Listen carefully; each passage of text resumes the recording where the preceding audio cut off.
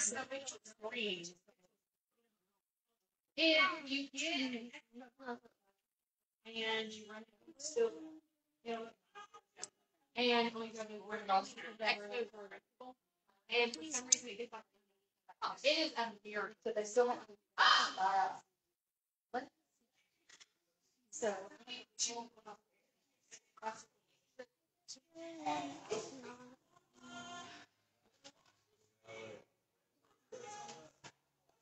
Okay.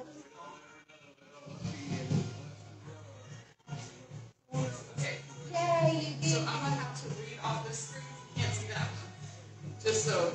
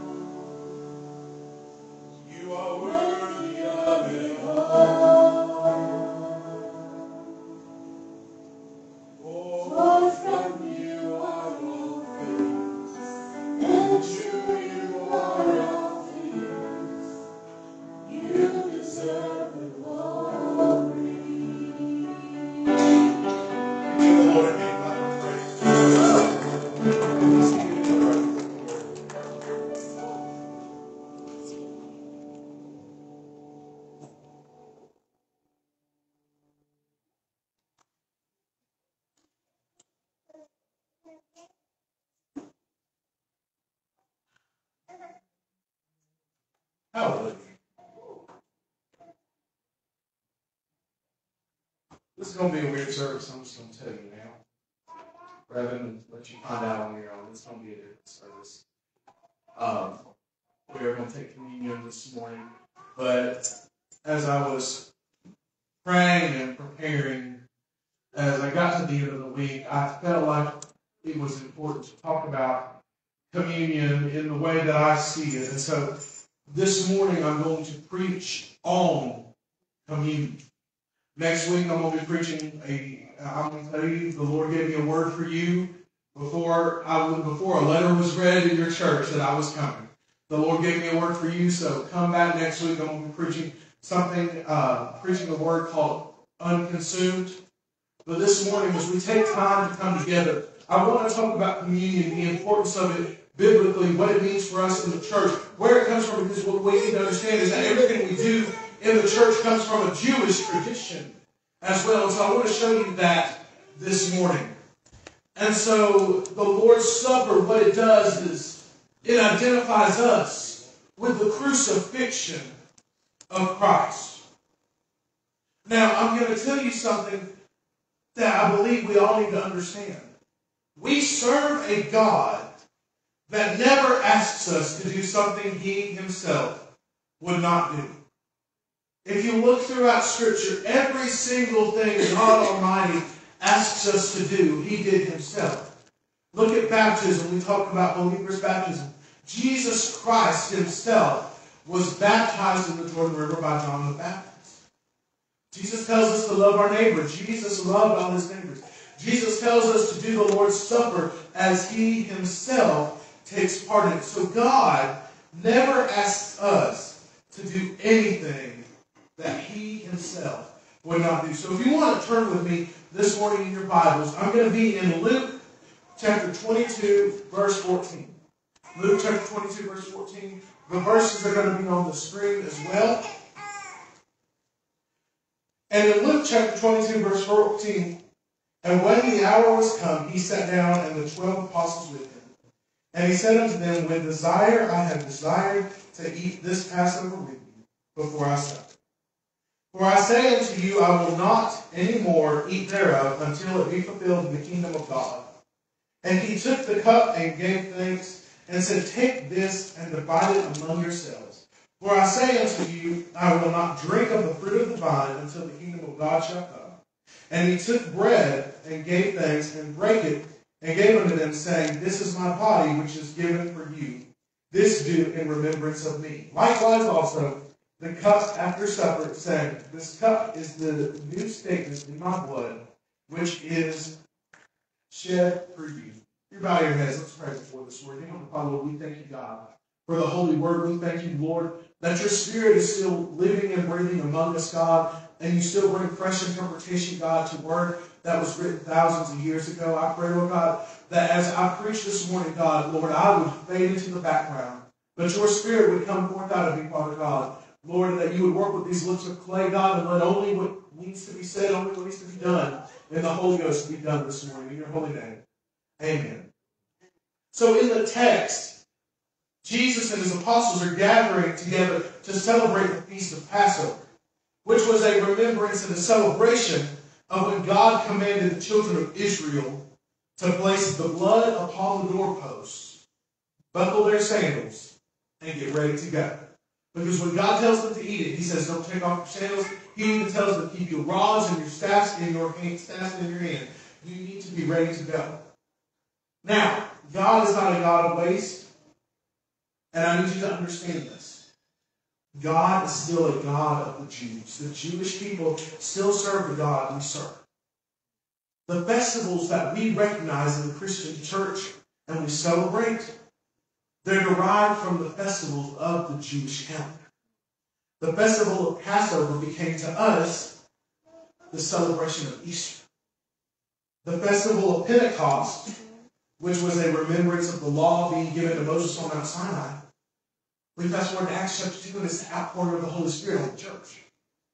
The Feast of Trumpets, which begins 10 days of consecration before the Lord and led the Day of Atonement, that festival is not found in the Christian church quite. Because that festival will signify the second coming of Jesus Christ. God's calendar, and what I love is if you look at the Jewish calendar and the Gregorian calendar, they're, they're completely different. But if you look at the Jewish calendar and the way God works, God works within that calendar still. And so it's important for us to understand this. So I believe to fully understand where we're headed as a church, and the churches in general, you have to understand where you came from. So if we want to understand communion, if we want to understand Pentecost, if we want to understand Christ in general, we need to understand the context of where Christ came from, what Christ did. And so in Exodus chapter 12, verse 8, it says, As we look back at the night of the Passover, God gave the Israelites a specific command about the bread they were to eat that night. They were to make it without yeast. Now I'm going to tell you, I don't know if you, I, we did this last Sunday with, with um, unleavened bread. I'm going to tell you, I like bread. Um, and I mean, I don't know, um, we got Texas Roadhouse in Rome. My wife and I had Texas Roadhouse. Who doesn't love a good old Texas Roadhouse roll with honey butter? Can I get an amen on that one? I mean, that's good bread. Communion with Texas Roadhouse rolls, I mean, praise God, you fill the church up. Amen. But God does not do that simply to take away the joy of bread. There's a reason God commanded the children of Israel to bake bread, bake bread without yeast. It's because bread without yeast is quicker to bake. My wife's grandmother has a roll recipe that they make every Thanksgiving, and they have to start it about three days before Thanksgiving because they have to get the dough time to rise, give the dough time to do what it needs to so they can bake it. But in this moment, we talked about the urgency. Don't unbuckle your sandals, eat with your staff. They had to be ready when God said to move. So God tells them to not bake their bread with yeast, but rather bake unleavened bread because it was quick and they needed to be ready to go. And in Exodus chapter 12, verse 11, and thus shall ye eat it with your loins girded, your shoes on your feet, and your staff in your hand, and ye shall eat it in haste. It is the Lord's Passover. Church, sometimes we can miss what God is doing because we don't make haste when God tells us to do something. We choose to wait back. We choose to lollygag. We choose to hold on. But when God says go, it's time to go. And I recognize that in my own life. God was about to deliver these people. And if they were not ready when God said go, they would have missed it. If we look at the timing, and it's amazing how God's timing works. If we look at the timing, they get to the Red Sea at the perfect time, and the Red Sea parts and they're able to cross, if they would have baked with yeast, or if they would have had to wait for somebody to put their shoes on, or grab their staff, Pharaoh would have been able to easily catch up with them. But because they were ready to go, when God said go, they were able to escape the perils of Egypt. So when God says go, or when God says be ready, we have to be ready and we have to be willing to go. Now, the most significant part of the Passover feast is the blood. And in Exodus chapter 12, verse 13, and the blood and the blood shall be to you for a token upon the houses where ye are, and when I see the blood, I will pass over you, and the plague shall not be upon you to destroy you, when I smite the land of Egypt.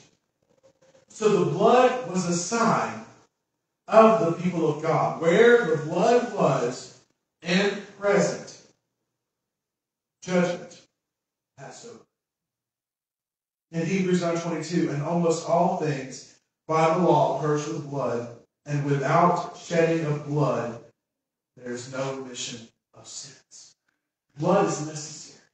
And so when the Hebrews sacrificed these lambs, and they put the blood upon their doorposts, it showed God that they had sought forgiveness for their sins while the Egyptians were still living in their sin. Therefore, whenever they put the blood on the doorpost, the angel of death passed over, but it struck the Egyptian family.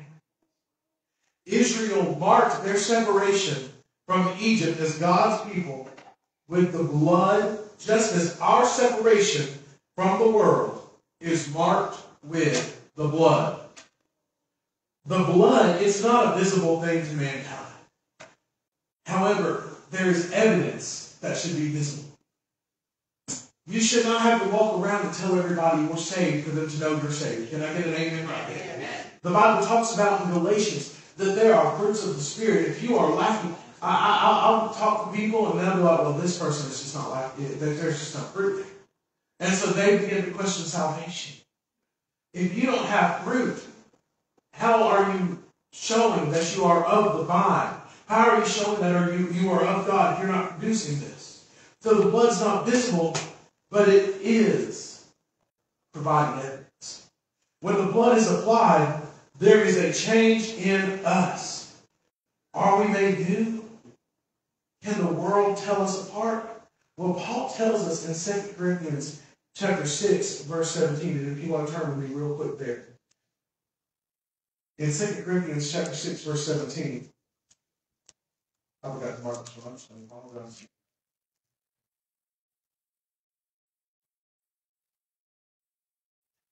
For it says, Oh, wherefore come out from among them, and be you separate, saying the Lord, and touch not the unclean thing, and I will see.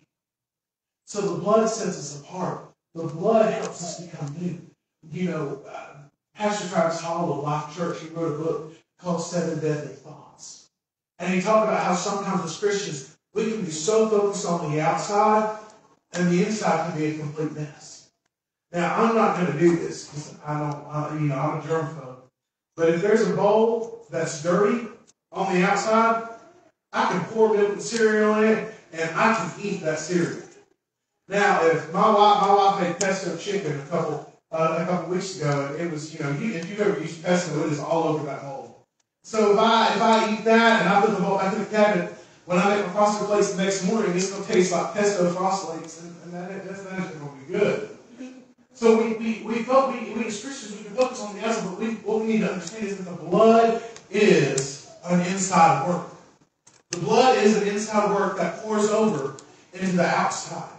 Whenever it, whenever people get saved, they may be living in sin. They may be, you know, with drunkenness. They may be in fornication. They may be uh, addicted to drugs. They may be addicted to porn. That doesn't magically go away. But what happens is God gets on the inside and God begins to clean up the inside and they begin to no longer want to do these things. They begin to say, hold on, this doesn't feel as good as it used to. Hold on, this doesn't feel just right. Hold on, I can't stand when I do this. And as God begins to do that, as they begin to go through this process called sanctification, they begin on the outside. They begin on the outside to appear and to live and to act as a Christian. Being, being sanctified is not wearing a dress down to your head down to your toes with your hair all the way down your back, no jewelry, no makeup, nothing. That's not holiness. That's not sanctification. But let me tell you what it is. It's producing fruit. It's living for God. It's choosing the things of this world, choosing the things of God as opposed to the things of this world. And it's an inside work. The blood is an inside work that works its way to the outside. There's symbolism. All these festivals and celebrations, they use symbolism and imagery to represent what was taking place in the supernatural. Using baptism. You go under the water as, as if your sinful self is being dead and buried.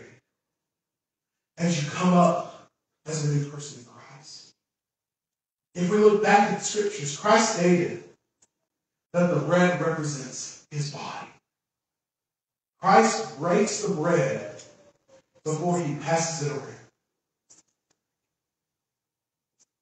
There was a communal piece of bread or a loaf that all the disciples were eating. And as it is passed around, the bread is torn as Jesus knows his body will be in the days. I filled in my is in the Methodist church. And back in 2019, he called me and said, Hey man, can you come in for me? And so I went, and they did communion that morning. And you had to walk up to the table, and you had to tear off the bread and dip it in the juice. It was just such a unique experience. Brother Ernest was telling me the other day, we were talking about, you know, he was a deacon in the church. And he said that the pastor had ripped off the top of the bread and he poured the juice in and he began to cut the bread. And as he cut the bread, it began to leak out. There's symbolism in what we do. And here's what I need you to understand symbolism doesn't save you. The symbolism is there to help us understand what's going on in the supernatural. In the book of Hebrews, I can't remember the verse exactly, but it talks about how the tabernacle were types and shadows of what was taking place in heaven. And that's what these things we do are. The Lord's Supper, baptism. These are all representations of what's taking place in the supernatural. The blood was represented by the wine. We use juice today. Some churches don't, we do. His blood would be poured out over the next couple of days. So much so that when they pierce his side to ensure that he's dead, he bleeds out. With very little blood.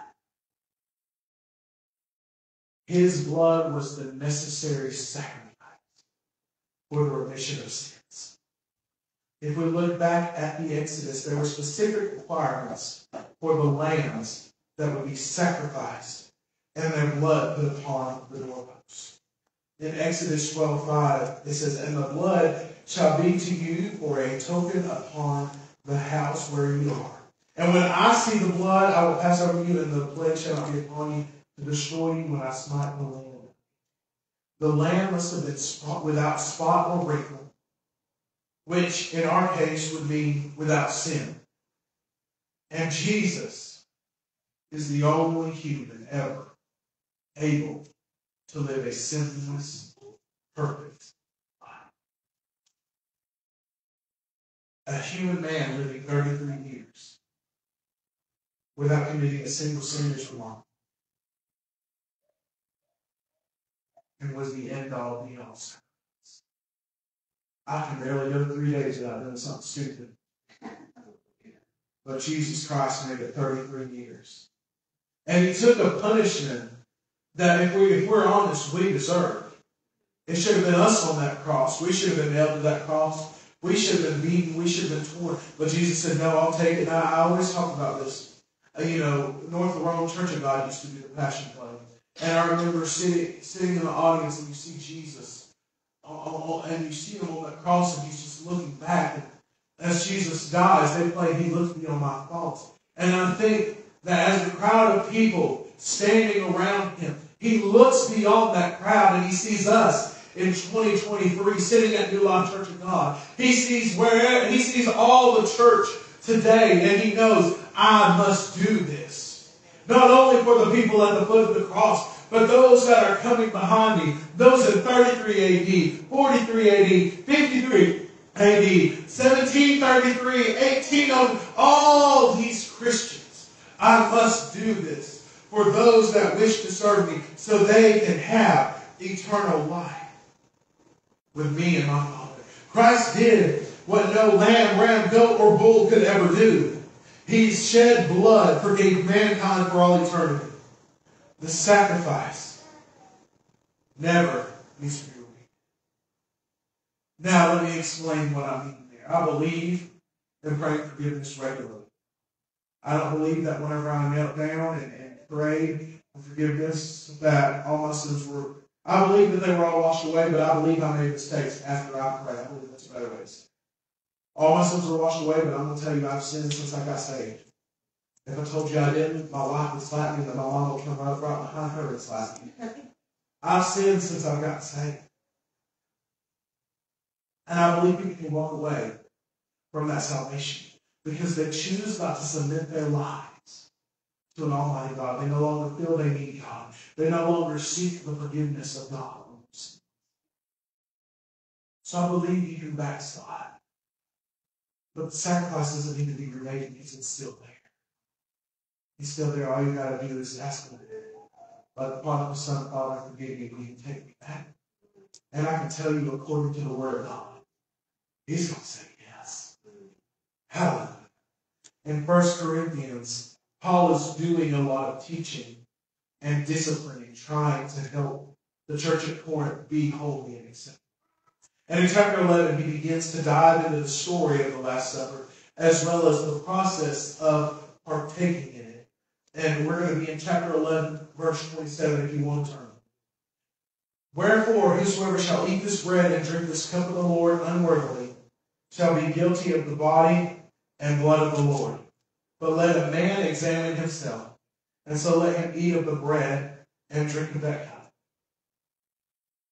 What does it mean by unworthily taking part in the Lord's Supper? I've got these questions for you. Are we, as we examine ourselves this morning, as we prepare to take part in the Lord's Supper, are we living a life glorified by Christ? Are we saved? We all sin and we all make mistakes. God doesn't expect us to be perfect. Otherwise, if we're not working towards attaining Christ, we're dishonoring the name. He's looking for genuine followers of Christ to be a part of us. Do we walk in church one way and we are completely different when we walk out into the world? Do we come and grab some forgiveness on Sunday morning just to help us make it through the week? Some I've heard pastors call it, do we just come on Sunday morning to get some fire insurance? Or are we doing the best that we can to obey God and live in His will? Paul even states that we, as Christians, should examine ourselves. The blood is there as a cover, so that when God sees us, He sees His Son. Before we partake of communion, we, we need to make sure that we are washed and covered in the blood of Jesus. That is what the blood says. In verse 29, For he that eateth and drinketh unworthily eateth and drinketh damnation to himself, not discerning the Lord's body. For this cause many are weak and sickly among you, and many. The legalism of the church has made this verse very hard for us to swallow.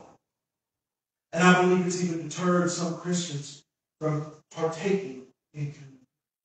Because if you don't feel like you're perfect, it's hard to take communion. Can I get an I had a pastor I, I was working for at the time. He said, You do communion. And I looked at him and said, You ever feel unworthy when you get up there to look at me? He said, All the time. All the time. But I believe it's a good sign when we examine ourselves and we, we recognize that compared to Christ, we fall short. Oh, we fall so short. This verse is not meant to deter us as Christians from partaking in communion, but to help us understand the seriousness of what this represents. There were Corinthians who were facing consequences of partaking unworthily, but if you look at the whole book of Corinthians, they had a lot of problems. There was sin and chaos running throughout that church. They didn't simply make a mistake or have a hard week, and God punished them for partaking in communion. It was people who were living, the, who were not living the Christian life or not showing reverence for the sacrament. The Bible, whenever Paul talks to them, he says, don't come in and gorge yourself on wine and bread and be drunken. That's not what communion is about. It's about remembering the sacrifice. If you're living as a Christian to the best of your ability and are not a Christian only when you walk through these doors, then partake. This verse isn't meant to scare us to the point where we don't want to take communion. Otherwise, it would almost, we'd almost be doomed if you do, doomed if you don't. But Christ commands us to take part in this. Christ commands us to do this in remembrance of Him. And as I finish looking at this portion of 1 Corinthians, it should be very obvious that communion is for believers only.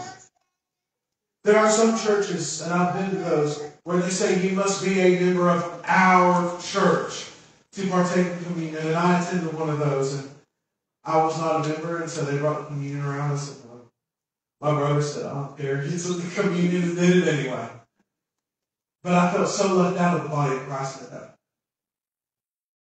And I'm very proud of our denomination because at the last General Assembly, they changed the wording in the minutes to be anybody who is a part of the body of Christ may partake.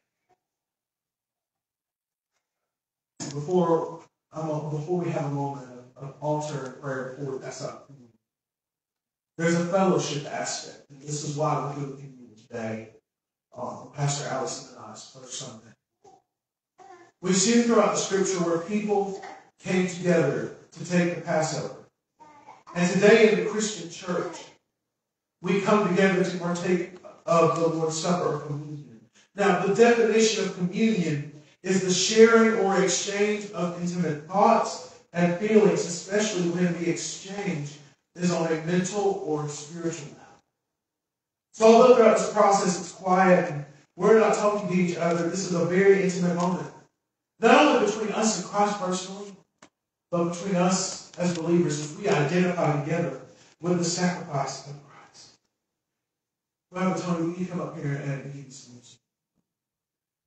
This moment not only brings us closer to our Creator and Savior, but it also allows us to develop a closer relationship with each other as we take a moment in unity to point our eyes towards the cross of Jesus and the sacrifice he made. There's something that happens when we set our eyes on Jesus together. In Acts chapter 2, and when the day of Pentecost was fully come, they were all with one accord in one place. And suddenly there came a sound from heaven as of a rushing mighty wind, and it filled all the house where they were sitting. When the believers in the book of Acts were all in one accord and one mindset, the Holy Ghost was poured out upon the church. What great things would happen if we were able to shake our thoughts and minds all together on Him for just a few moments. Can you stand up all at once? Hallelujah. With every head bowed and every eye closed, I'm going to ask you a very serious question. Do you know Jesus? As we prepare to take a take part and we, you know, we, we share in the sacrifice of Christ, I ask you, do you know Jesus as your Lord and Savior? Do you know that He lived a life servant to God and that He died on the cross for our sins? Are you here this morning and maybe you said, Pastor, I knew Jesus. But I've walked away, I don't live for Him like I should. And I want to rededicate my life to Him. If you want to rededicate your life or if you want to follow the Lord in salvation this morning, I'm not going to ask you to come forward. I'm just going to ask you to lift up your hand and we're all praying. If you slipped up your hand, will you pray with me? Actually, let's all pray. Lord, we believe that you sent your Son, Jesus Christ, to come and die for our sins on the cross that we deserved. And I pray that this morning, those that have slipped up their hands would receive you. And so if you slipped up your hand, I want you to repeat after me. Father, I am a sinner. I've done wrong. And I pray that you would forgive me. I believe that you sent your Son, Jesus Christ, to die on the cross for my sins. And I choose today, today, to live a holy life seeking after you. I may not be perfect. I may make mistakes. But I will submit myself to you and continue working on following me. Forgive me my past transgressions and help me to walk towards you. Cleanse me and search me and see if there be any evil way in me. In your holy name. Thank you, Brother You may be seated. My wife and I, we do not believe in Russian communion. So we're going to take some time to reflect. Brother Ernest and Brother Josh, can you pass out the elements? There's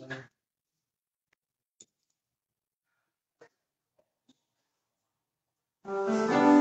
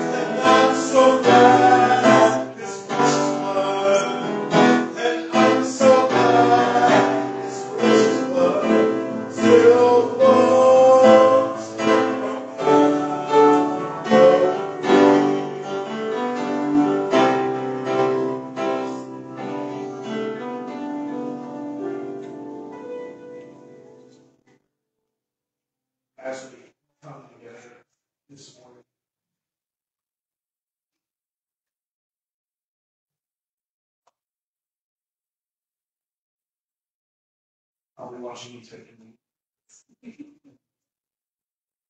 Can we just take a minute in reverence of what we're about to do? And ask God to cleanse us, give us of our sins, wash us Christ. And then you pray how you need to. I'm going to say a prayer that I can't pray for a couple Lord, as we come to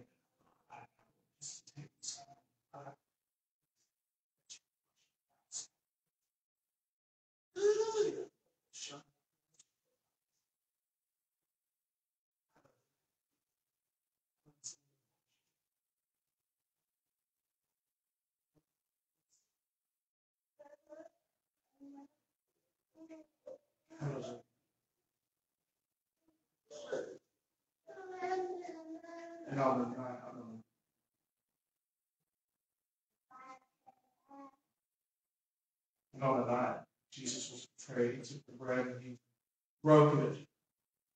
And I would invite you to dip it in, in the juice instead of what happened. But he took it, he broke it, and he said, Take, eat, this is my body, which is broken for you. So go ahead and take the bread.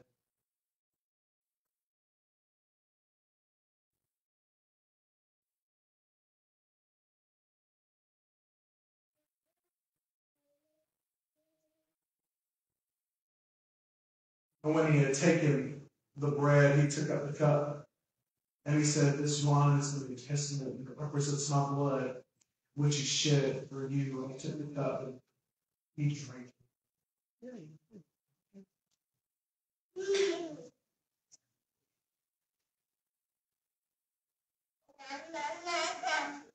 And in Matthew chapter 26, 40, as we prepare to end the service, it, says that as they left, they uh, they sang the hymn. So I, I, I hope you know this one, and I, I hope that you'll sing it with me.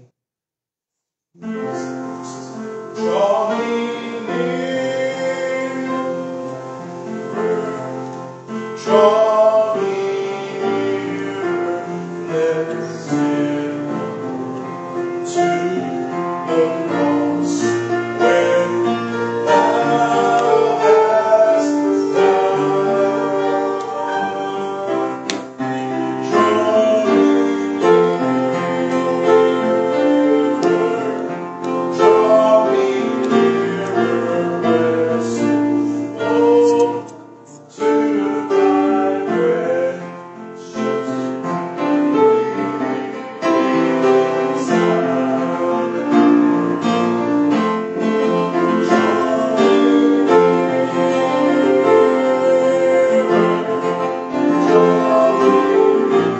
to